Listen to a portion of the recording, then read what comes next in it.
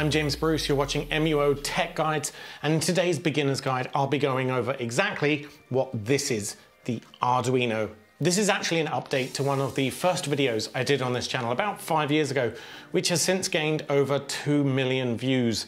So we felt it was really about time that we updated it. So this video is split into four parts and you'll find the timestamps in the description to skip ahead if you want.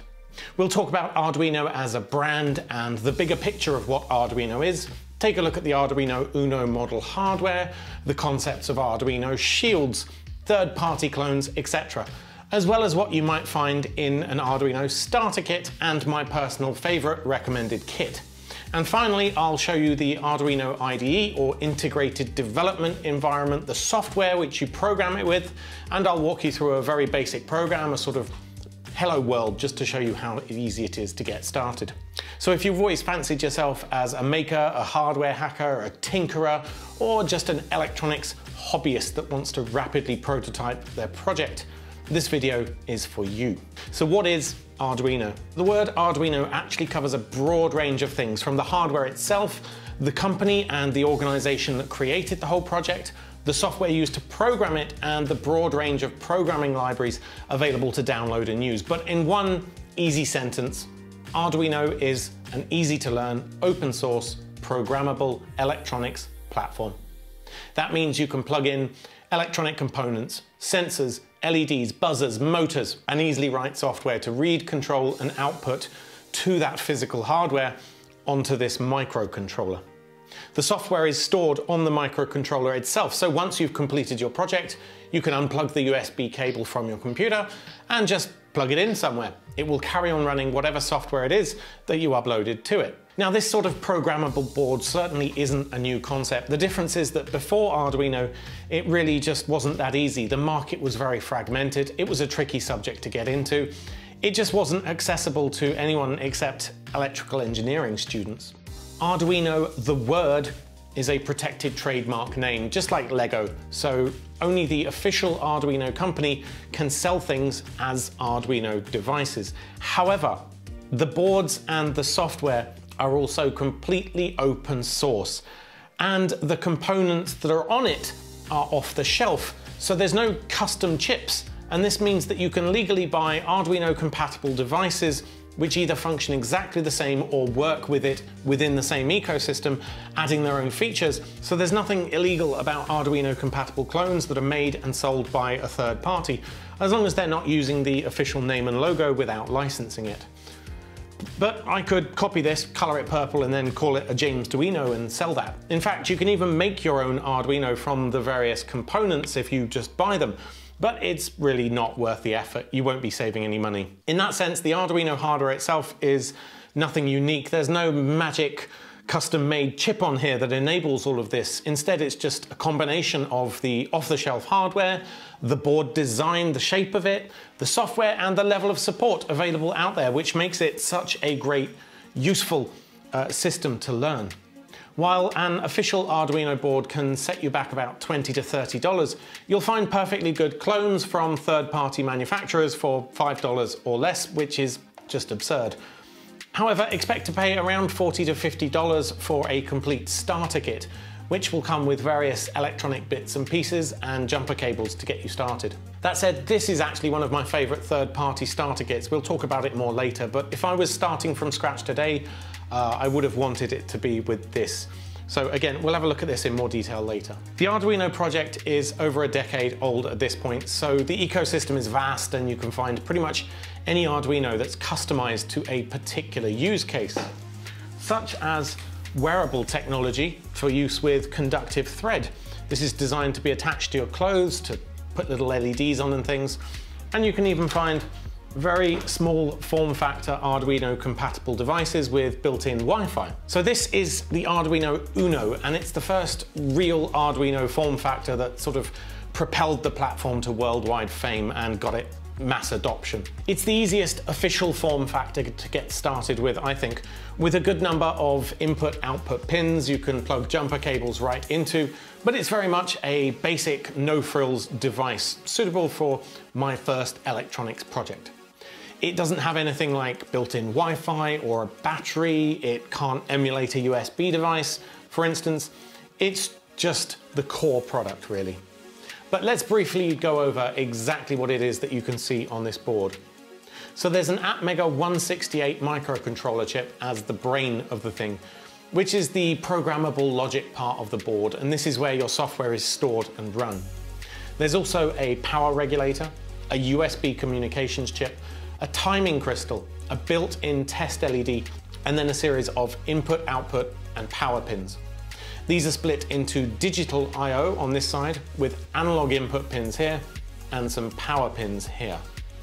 Digital pins can be programmed as either input or output, and they operate at either a high or low electrical value, a zero or a one while the analog input pins can detect 1024 different levels of voltage between 0 and 5 volts. So some sensors give a digital reading, some, like a simple variable resistor, will output an analog signal. So it's important to match those up to the right pin. Generally, you won't break them by putting it in the wrong one, it just won't work. Now these pins are numbered for ease of use, which you can then refer to in the software. Other Arduino board models will have more or less input or output pins, perhaps faster processors with more memory for larger programs, and some have integrated features like Wi-Fi or Bluetooth, or maybe they simply come in a different shape or have different pins. The Uno model board is popular not only because it was the first easy to use uh, sort of standard form factor, but also because you can buy a selection of expansion boards called shields, which then can plug in on top of your board like that. It also means that you can easily go to uh, find a 3D printable case or any other accessories by searching for Uno on Thingiverse. Okay, so background out of the way. You want to get started, which starter kit should you buy? Personally, I'm a huge fan of the Seeed Studio beginner kit.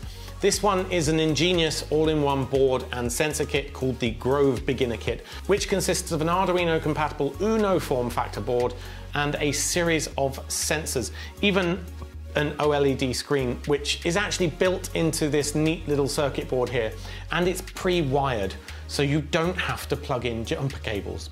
But what's even better is that when you're ready to move on from those with other sensors, etc., you can snap the entire board out of here and then use either standard electronics components through the usual pins, uh, or you can use the Grove system components, which are self-contained modules that use a single cable connector. In terms of value for money though, this is incredible. Less than $30 for the whole thing with all of the cables that you'll need. Actually, we have a full separate review of the Grove beginner kit, so do check that out, link in the description if you're interested, but definitely recommend this. So the final piece of the Arduino puzzle that we have yet to talk about is the software, otherwise known as the Arduino IDE or Integrated Development Environment. Although it's certainly not the only way to program the board, it is the easiest to use and I would recommend it for beginners. You can download the Arduino IDE free of charge for Mac, Windows or Linux, but if you have a third-party board, you may also need to download some USB serial drivers separately for instance, it might be the CH430. You should have got some instructions when you purchased the board, but if not, just do a quick Google search for your make of board plus USB serial drivers. Once your Arduino IDE is open, the first thing you need to check is that you have the right board selected up there in the tools menu. Then make sure that the port is correctly connected and showing up. Obviously it's not the Bluetooth one and depending on the board type you may get something else appear here. On Mac it usually shows as cu.usb modem for me. On Windows this will more likely say COM4 or COM5. To load your first program I would suggest going with Blink.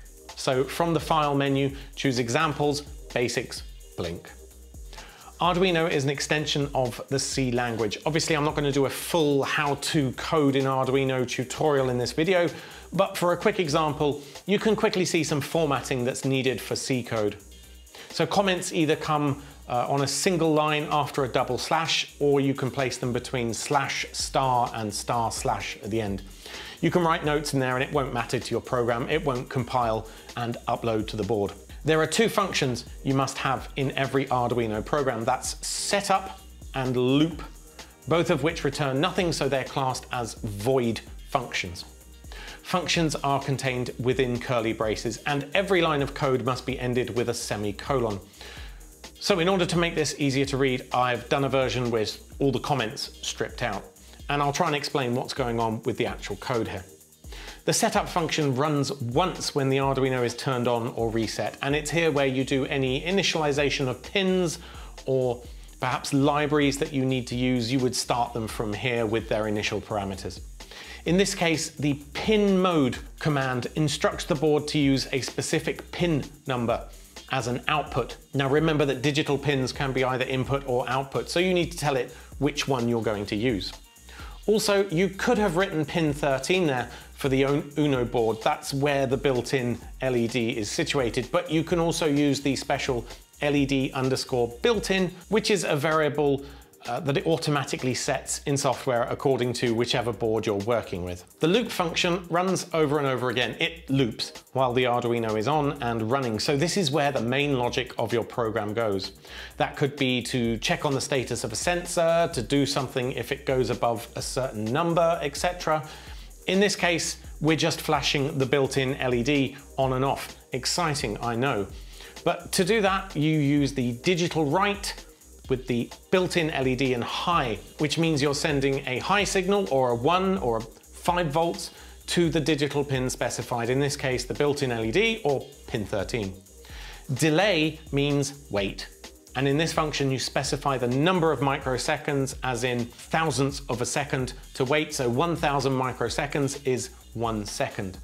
Then you do the same thing again, but this time you send low, zero, or no power to the built-in LED to turn it off. Then you're telling it to wait another thousand microseconds, and that's the whole of the loop. You get to the end here of that function, so the Arduino will then start to loop again through the loop function.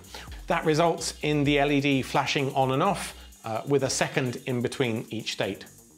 Now you should go ahead and upload that using the arrow button here in the top left the tick button, by the way, will just check your code and not actually upload it, while the upload button will check it, compile it, upload it, and then the Arduino will start running it. As a final step, what about if we wanted to make the flashing a little more random? Here's an idea. Instead of passing in a fixed microsecond length each time, let's pass in a random number. Arduino has a random function precisely for this, so let's replace that 1000 in each command with random open bracket 0, comma 5000 close bracket. A common beginner error, by the way, is not having enough closing brackets, so do check that it corresponds. And there you have it, our first modified Hello World for Arduino program that flashes on and off at random intervals. Now that was just a super quick demo to show you how easy it is to get started with Arduino. And I hope I've managed to convey firstly what Arduino is, why it's so successful, some might say revolutionary for hardware hackers, hobbyists, tinkerers and makers the world over. In terms of what sort of cool projects you can make with Arduino, that's for another video. You'll also find that I've done a number of projects over at our main makeuseof.com website. I tend to focus on flashy LED things, but right now I'm trying to automate a Lego railway using an infrared LED emitter, a small motor for the switch, and a distance sensor to detect when a train arrives, Luckily, someone's already written a Lego train library for me, so all I have to do is send those commands, make use of that, and send it out through the infrared. Really though, your only limit is your imagination. Anyway, thanks for watching. I hope this video helped you. Be sure to hit like and subscribe for daily tech news, gadget reviews, and the occasional tutorial like this one, as well as checking out the DIY section over at makeuseof.com, where we cover a broad range of programming and hardware topics like this one. Until next time, thanks for watching and happy making.